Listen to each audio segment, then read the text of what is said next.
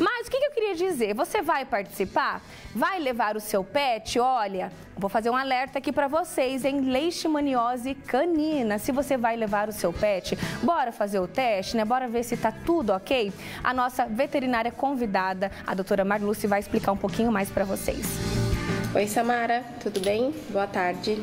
Hoje a gente vai falar um pouquinho sobre leishmaniose. Tá? A leishmaniose é uma doença parasitária é a, a segunda doença parasitária que mais mata no mundo hoje, tá? Só perdendo para a malária.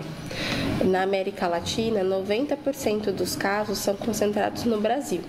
E a gente aqui no interior de São Paulo, a gente está numa região endêmica.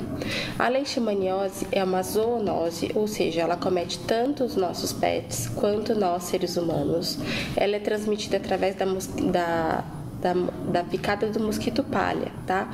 O mosquito palha, ele é um pernilonguinho marrom, menorzinho do que o Aedes aegypti, é, que tem alguns hábitos diferentes do que a gente já está acostumada com o Aedes tá? É, ele coloca seus ovos em matéria orgânica em decomposição. O que, que é isso? Resto de folhas e frutas que ficam no quintal, fezes, lixo.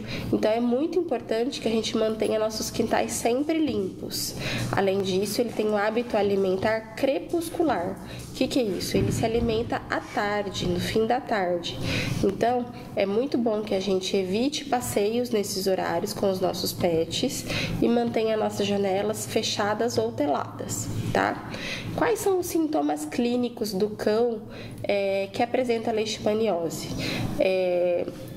os cães sintomáticos, eles podem apresentar lesões de pele que não cicatrizam, unhas compridas, emagrecimento progressivo, aumento do tamanho do baço do fígado, anemia, dentre outros sintomas. Mas existe uma grande quantidade de animais que são assintomáticos, ou seja, eles não têm sintoma.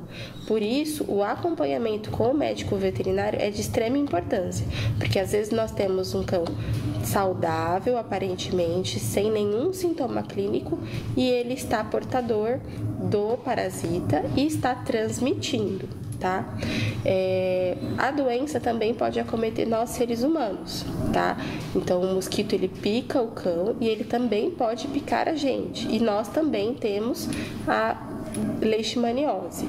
É um tratamento difícil, é um tratamento complicado Existe tratamento para o cão também, porém esse tratamento disponível hoje ele não promove a cura parasitológica, apenas cura clínica. O que, que significa isso? A gente consegue melhorar e controlar os sintomas dos nossos cães. É, normalmente os cães voltam a ter uma vida comum, porém eles vão ser portadores da doença para o resto da vida.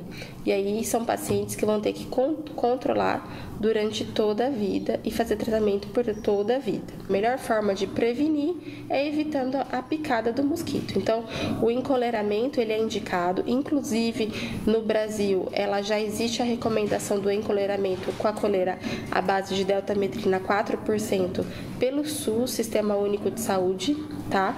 Então, existe essa recomendação, é a melhor forma de prevenção.